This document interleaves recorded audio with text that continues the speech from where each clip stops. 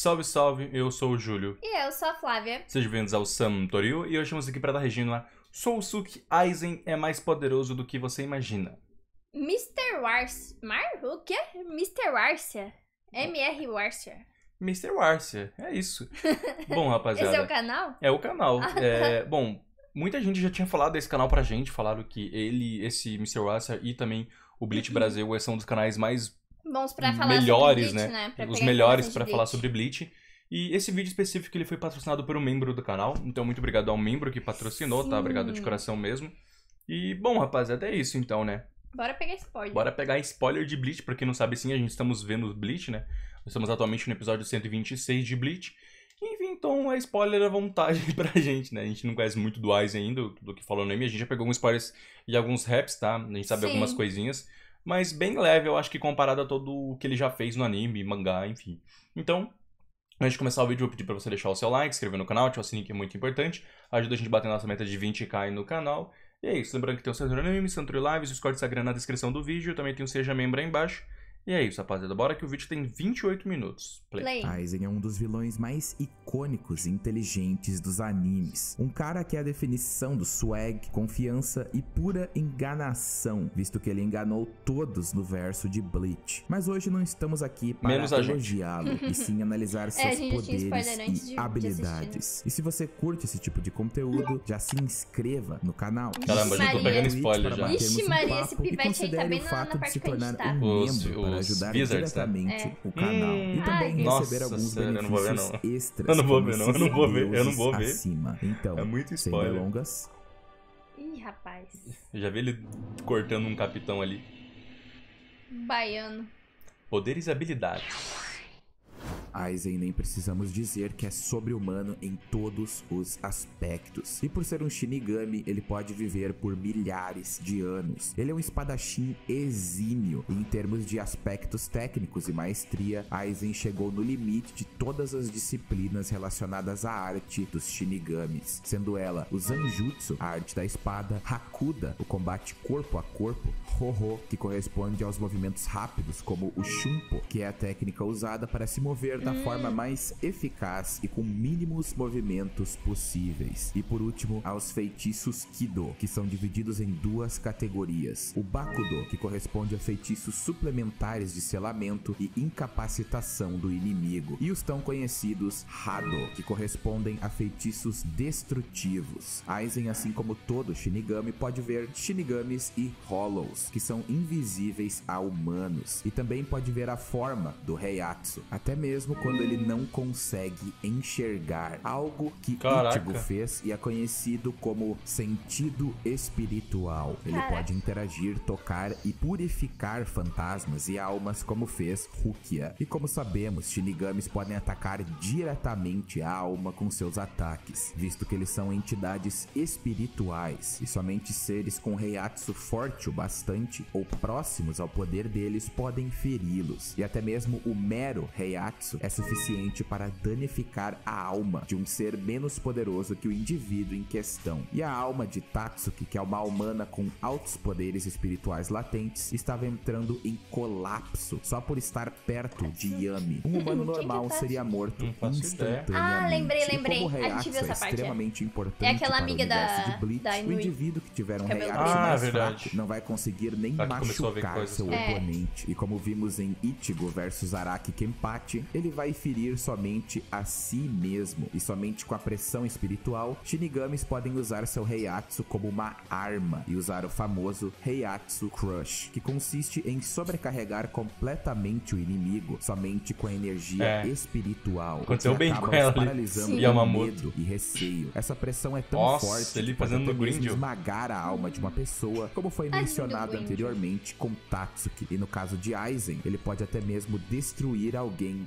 somente com o Heiatsu. E se esse ser Caraca. foi muito mais fraco que ele, e após sua forma Esse da é crisálida, é? ele passivamente Eles viram- eles viram Aizen? Tipo, coisas faz da sentido. existência. Isso somente ao se aproximar desses seres ou objetos. Aizen pode detectar Heiatsu até mesmo em outra dimensão, pois após a derrota de Yuha, ele detectou o poder desvanecente enquanto estava no Muken, uma dimensão que está dentro da Soul Society, mas é separada e se expande infinitamente. Shinigamis podem solidificar o Reishi, que é a matéria espiritual de todas as coisas que existem, e atingir algo parecido com o voo. Mas Aizen pode voar livremente devido à sua transcendência de poder. Aizen até mesmo chegou a possuir um manto capaz de esconder completamente o Heiatsu, fazendo o usuário ser invisível no Parecia o quesito de ser detectável Então, pelo é, Heiatsu. sim. e até mesmo detectou Urahara enquanto o mesmo estava usando essa capa. Através da técnica Sentan Hakuja, ele pode se teletransportar, ele pode ficar Meu invisível com o Bakudo É número o Madara, 26, né? É Kyoko, Madara que de Bleach. mascara a forma física e o Heiatsu ao dobrar a luz. Com o Bakudo número 81, Danko e El Escudo, ele pode criar uma barreira defensiva. Com o Hado número 63, Raikoho, ele pode lançar uma enorme torrente elétrica pelas mãos.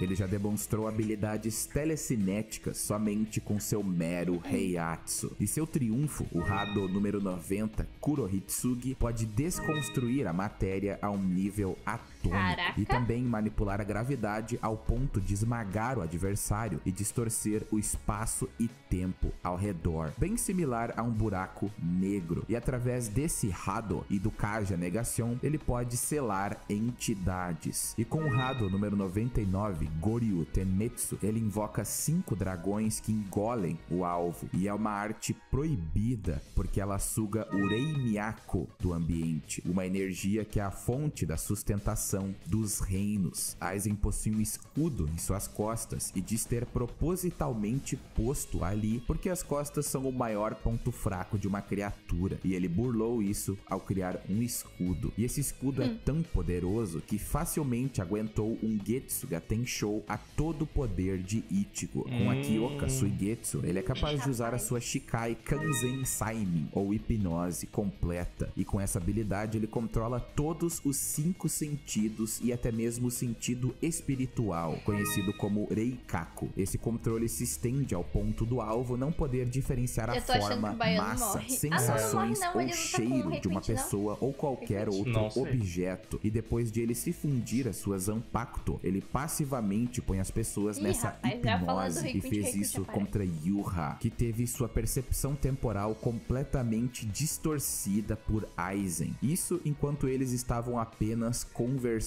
E até mesmo após Yuha absorver Mimihage e o Rei das Almas e poder literalmente reescrever o futuro, ele ainda Caraca. assim foi pego pela Kyoka Suigetsu, a ponto de Yuha acreditar que na verdade, ao invés de estar lutando com Aizen, ele estava lutando contra Ichigo. Então podemos ver que a Kyoka Suigetsu e sua Shikai são extremamente poderosas. Pelo Aizen, por ser um capitão, também, né? obviamente teria Bankai, mas em toda a obra nunca foi revelada qual seria sua Bankai. Imagina Quando a Aizen Bankai dele, possuía o Hogyoku, ele iria evoluir caso o mesmo estivesse em perigo e sua força de vontade fosse forte o bastante. Ele pode retornar à vida, mesmo depois de sua biologia ser completamente apagada. E desde que sua alma exista, É ele horrível, pode né? Oh, retornar. Deus uma regeneração que aqui conhecemos como regeneração metafísica. Além disso, ele pode dar poderes, como fez com Wonder Que até mesmo era capaz de selar as chamas da Ryujin Jaka de Yamamoto. E ele até mesmo foi o responsável pela criação dos Vizards. E ele Ah. pode transformar um Hollow genérico em um Arankar, que é um nível muito maior dos Hollows. Como assim ele criou os Vizards? É um Entendi. objeto que manipula a própria realidade e até mesmo a probabilidade e permite que certos eventos ou evoluções aconteçam, visto que ele realiza os desejos mais profundos do coração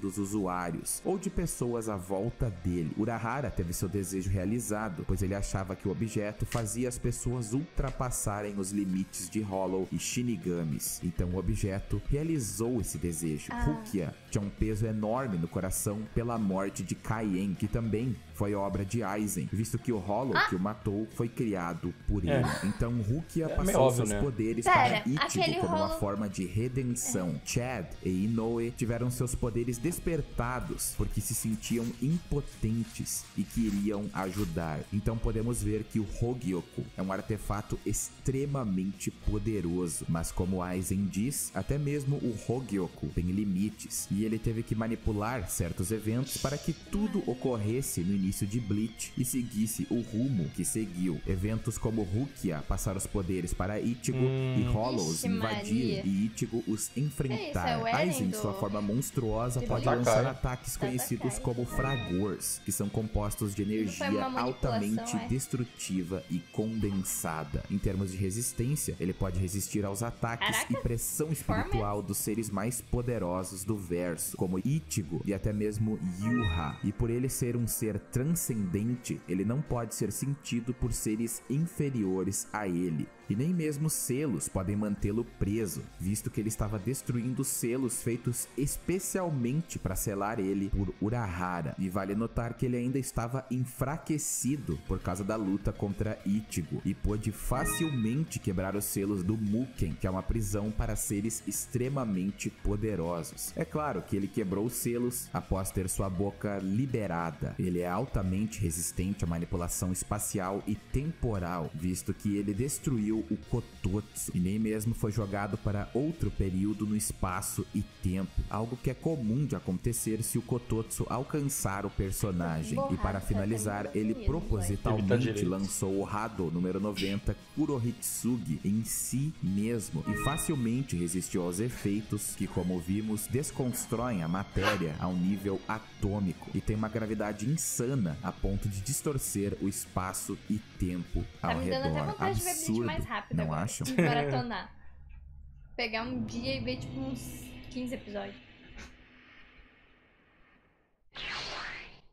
Inicialmente, Aizen era superior a todos os capitães. Eu até diria superior a todos no Sereitei, Então, com Yamamoto? exceção de Yamamoto Ah, e tá. a Guarda Real. E sua divisão era dita de ser altamente treinada, e seu capitão era excelente em tudo. Ele é superior a todos os espadas mais poderosos, que com seu Gran Reicero eram ditos pelo próprio de poderem destruir Las Noches, um lugar que calculamos aqui a ter o tamanho de um país pequeno. E com a Resurrection, que é um estado muito similar a Bankai dos Shinigamis, espadas como Grinjo facilmente subiriam para o nível país. O Kyoha, em sua base, na primeira luta contra Ichigo, foi capaz de fazê-lo tremer na base e subjugou o. Getsuga Tensho, amplificado pela máscara Hollow ainda, e tipo, ainda bem perto de humilhou onde a gente tá, Ichigo. O tá mesmo ficou parte. mais É. forte, lutou e derrotou Grinjo com a Resurrection. Ficou ainda mais forte e lutou contra o Kyoha de novo, que mesmo estando na sua forma base, teve um pouco mais de problemas. E tranquilamente estaria no nível país a país grande em sua base. E por ter a Resurrection, ele subiria para o nível continental. E por ter um estado Caraca. único a ele, conhecido como segunda etapa, ele possivelmente até mesmo alcançaria o nível multicontinental. Mas para Aizen, isso é brincadeira de criança, pois Aizen também é superior ao feito de Senna. A mesma impediu que um campo gravitacional gerado por inúmeros blanks, um campo que começou a puxar a dimensão da Soul Society e o mundo dos vivos para colapsarem um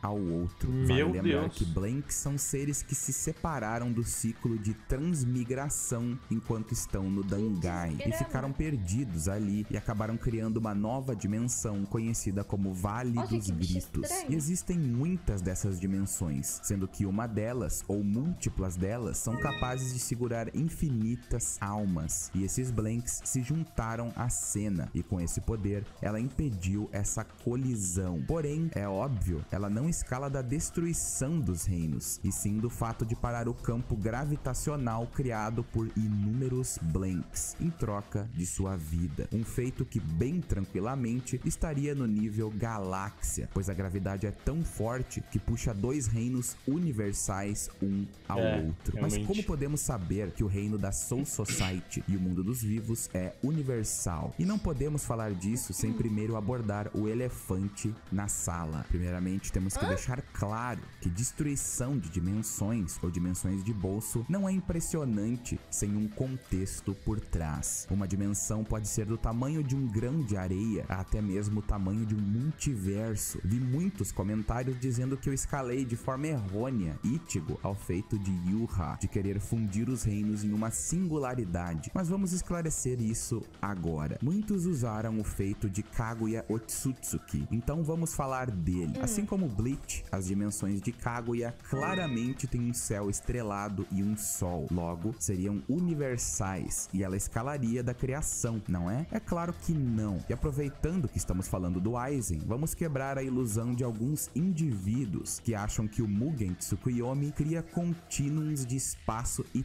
tempo. E com isso, vamos utilizar a fonte oficial do Databook 4, que contém uma seção separada para ninjutsus. Então? E lá é dito que o Mugen Tsukuyomi é um genjutsu em diversas vezes. Então, se vocês ouvirem algum cidadão usar esse argumento, usem esse scan oficial e licenciado pelo autor. Kaguya não escala de sua criação, porque ela nem mesmo criou suas dimensões. Vamos usar um argumento que muitos usam, a técnica Amenominaka e muitos usam esse scan para argumentar a favor. Mas vamos ver o que o Databook 4 diz sobre essa técnica. Tem a capacidade de levar o mundo e as pessoas ao redor do usuário para uma outra dimensão. As dimensões para as quais pode mover-se são aquelas de lava, gelo, gravidade, areia e ácido. E estas cinco dimensões estão diretamente ligadas à dimensão principal. A utilização desse jutsu consome uma enorme quantidade de chakra, tornando-se um jutsu que só Kaguya pode usar, arrastando a força para outra dimensão. É impossível voltar à dimensão original sem uma técnica anti-abdução. É uma técnica terrível. Então, Kaguya não cria suas dimensões, pelo menos não as que vimos. Mas na obra é dito que ela criaria um novo espaço e tempo depois de criar a Bochodama. Mas aí está o ponto de ouro. A Bochodama é dita de remodelar mundos. E quando nos referimos a mundo, é claro, nos referimos à dimensão. Então, para ela destruir uma dimensão, ela precisa carregar a Gudoldama a um ponto que ela fica absurdamente grande e acaba se tornando conhecida como Bochodama. No Databook 4, é dito que ela usa o chakra dos seres capturados pela árvore Shinju para manifestar essa esfera a esse tamanho absurdo. Logo, Kaguya não escala a destruição da dimensão porque primeiro não é um feito usando a energia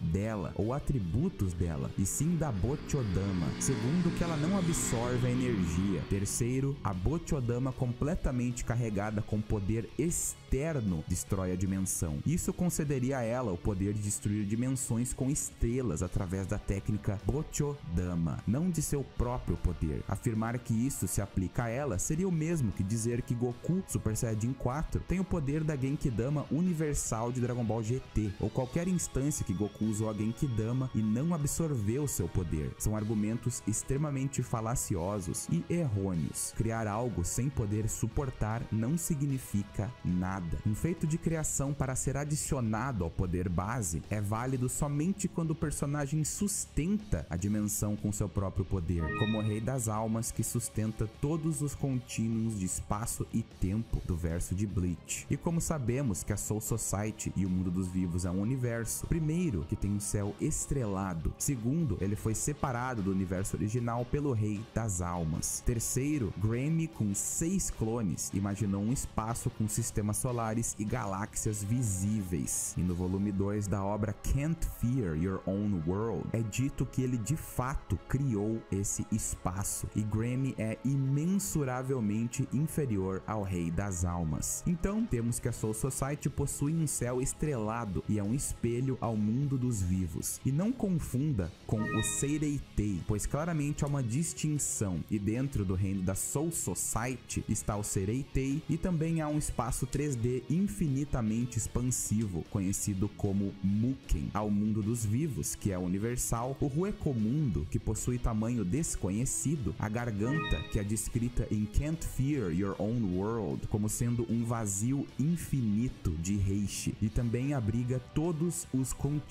de Bleach. Então temos pelo menos dois contínuos de espaço e tempo de tamanho universal, e a própria Garganta, que segura todos os reinos. Também é válido notar que o Almighty não se limita somente em poderes pré-cognitivos. O Rei das Almas possui esse poder, e através desse poder e as ideias dos clãs fundadores, o Rei das Almas conseguiu repartir o universo original e criar os contínuos que conhecemos. Contínuos com seu próprio espaço e tempo, e também através do Almighty ele consegue manter o fluxo interminável de almas, e é descrito na novel Can't Fear Your Own World como sendo onipotente e onisciente, e possui um poder que transcende tudo no verso de Bleach. E é óbvio que ele não é onipotente, mas onipotência nesse contexto só quer dizer que ele é o mais poderoso de Bleach. E onisciência se dá por causa do Almighty, que permite o usuário a ver o tempo de forma não linear e observar todos os futuros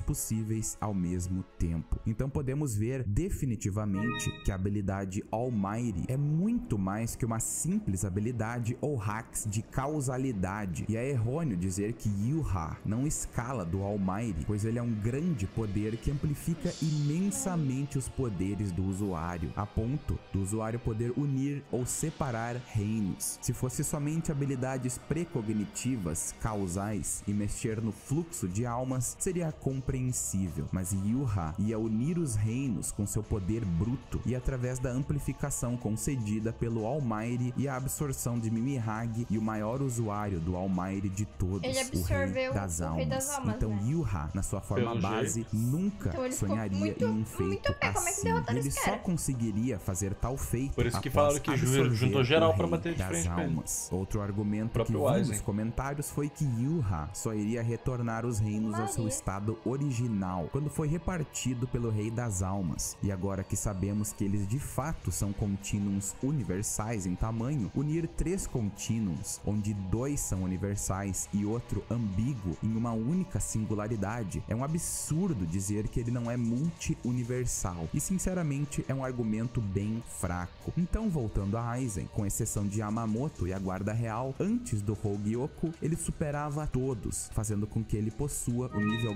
galáxia de potencial Ele era mais forte que destrutivo. Vale lembrar que né, somente os deuses do verso escalam ao Capitães? feito de cena. É. E após ter absorvido o Hogyoku e ficado na forma camisinha, ele com certeza Ah, não, estaria mano. pelo menos no nível galáxia. E após transcender os limites dos Shinigamis e Hollows e ficar na sua forma monstruosa, ele estaria pelo menos no nível universal mais. Já em sua forma após o Muken, ele luta contra Yuha a ponto de fazê-lo pensar que estava lutando contra Ichigo. O mesmo já tinha absorvido Mimihage e o próprio Rei das Almas, garantindo a Aizen o nível multi-universal. Muitas pessoas Meu falam que o Deus. feito de Ichigo Já não vai parar de ficar mais forte, Almas não é válido. E eu entendo porque o Rei das Almas estava praticamente morto, mas muitos esquecem que para ferir alguém em Bleach é necessário ter um Reiatsu equivalente ou superior em poder. E somente após Ichigo cortar o Rei das Almas que os reinos começaram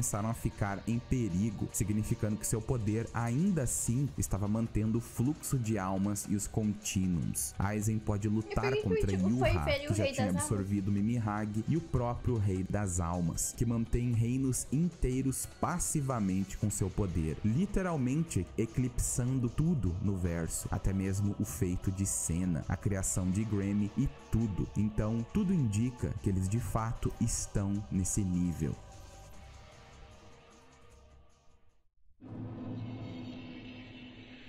Velocidade. Aí já até imagino já. Bicho é o Flash de Ele consegue se teleportar.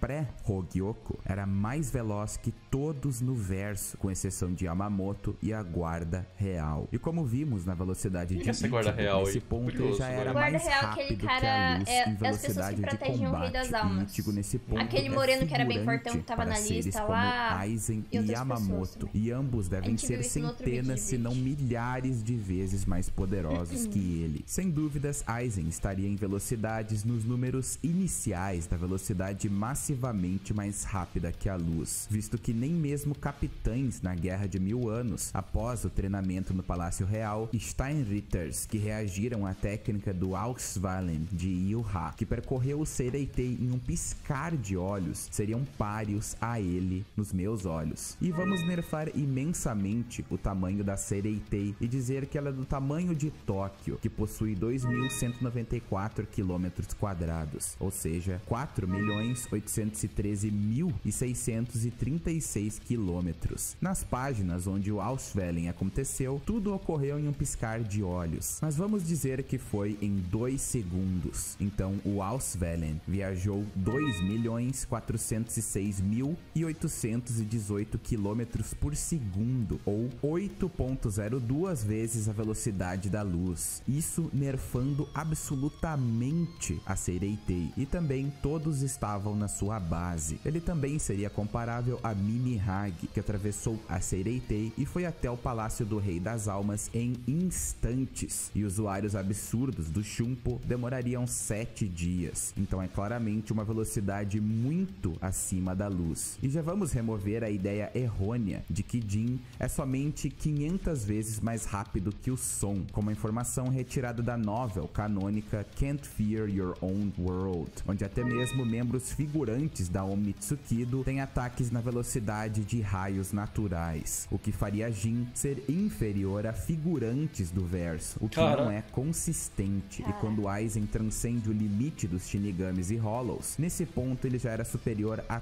todo o verso, com exceção de Yuha, após absorver Mimihage e o Rei das Almas. E é claro, Ichigo. E mesmo depois de ser aprisionado no Muken, ele é dito de ter ficado ainda mais forte desde a luta contra Ichigo. E acompanhar Yuha em combate, assim como Ichigo fez, foi tranquilo para ele. E ele facilmente estaria nos números situados entre centenas a milhares de vezes, e talvez dezenas de milhares de vezes mais rápido que a luz, assim como Ichigo. Inteligência. É, ele parece muito inteligente, né? Óculos. A inteligência e intelecto, sem dúvida, são os traços mais perigosos de Aizen. Ele é bem versado na história, estratégia e táticas da Seireitei. Está a par de conhecimentos desconhecidos para muitos, como a existência do Oken, uma chave criada pelos ossos da Guarda Real para chegar ao Palácio Real. Uma chave que somente Yamamoto tinha conhecimento. Aizen criou vários tá bem aí poderosos como White, que pode iniciar o processo da holoficação com seu veneno. E ele foi o responsável pela infecção de Masaki Kurosaki. E graças a Urahara Ai, e a Ishin, sua Pico- influência foi Pico.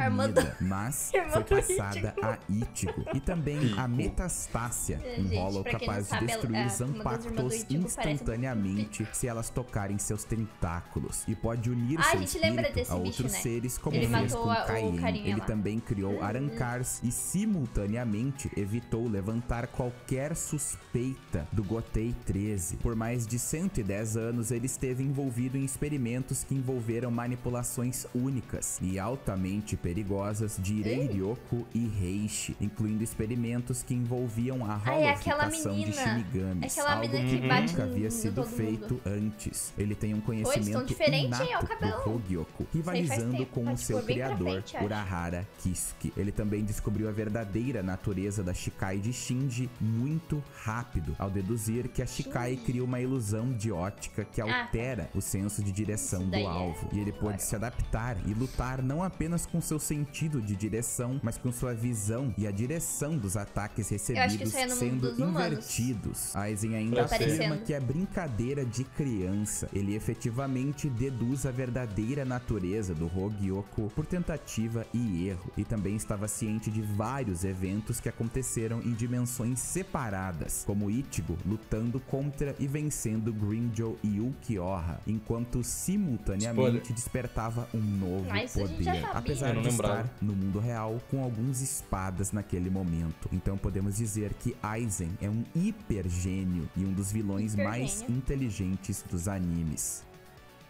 Poxa. Agora fiquei força. Então esse foi o poder de Aizen. Acharam que ele Acabou. seria mais fraco ou mais forte? Comente Caraca! abaixo e como sempre, se inscreva Nem no parece canal que se passou você 30 curte minutos. parece que passou tipo de 28 minutos, tá? Me siga na Twitch para batermos um Caraca, papo e passou considere Eu o achei que fato ela de não se era irmã do tornar Ichigo, um não. Acho que membro era para ajudar algum antepassado aí. diretamente o Talvez, canal eu não e sei. receber Eu- alguns é benefícios nome, só, mas acho que não extras era como esses deuses parece bem acima. antigamente. Muito obrigado Ah, a sei lá. todos os membros por todo o seu incrível suporte. Enfim. Então espero que todos estejam bem. Bom, é isso, tá, rapaziada? O canal, aí, no caso, a pessoa que fez vai estar na descrição do vídeo, tá? E, assim, realmente, muito obrigado pelos spoilers, tá? É, de um... Nossa, Eu não lembro... demais. Ah, foi o Saga, na verdade, tava esquecendo. Foi, o Saga, Saga foi que Saga. pediu, cara. O Saga, então, isso. Se você, quem aí tá assistindo o com a gente e não queria ver a gente pegando spoiler, briguem É com o Saga. Saga. É tudo culpa do Saga. Ele é um membro do canal, ele pediu essa sugestão aqui e a gente tá aqui fazendo, beleza? Bom, é isso. Então a gente pegou alguns spoilers aí, né? Pouquinho, pouquinho. Fazer o que? Não tem como fugir de spoiler, cara. O spoiler, ele, Ah, ele, vem, ele vem até você. E vocês gostam muito de spoiler, né? Então, A gente, bem. não, a gente, tá- a A gente gente tenta evitar, a gente tenta evitar, obviamente. A gente só vê coisas de Bleach ou por patrocínio ou por membro. Agora, se a É, gente for escolher, a gente não. Ou o lançamento, né, também de músicas. Sim, inclusive se alguém for querer comentar alguma das nossas dúvidas aí, dá alerta de spoiler, coloca aí spoiler. Muito importante. Pula bastante linhas e daí lá embaixo você escreve, porque aí a gente escolhe se a gente vai ler ou não. E outras pessoas também, porque tem gente que gosta de ler os comentários e às vezes acaba tomando spoiler gratuito ali, então faz isso, por favor. Bom, é isso, tá, rapaziada? Eu espero que vocês tenham curtido o React. 30 minutos de vídeo aí. E é isso, tá? Como eu falei, espero que vocês tenham curtido. Ajuda a gente a bater Sim. nossa meta de 20k, então se inscreve aí que é muito importante, tá? É isso então, rapaziada, e bye. Tchau.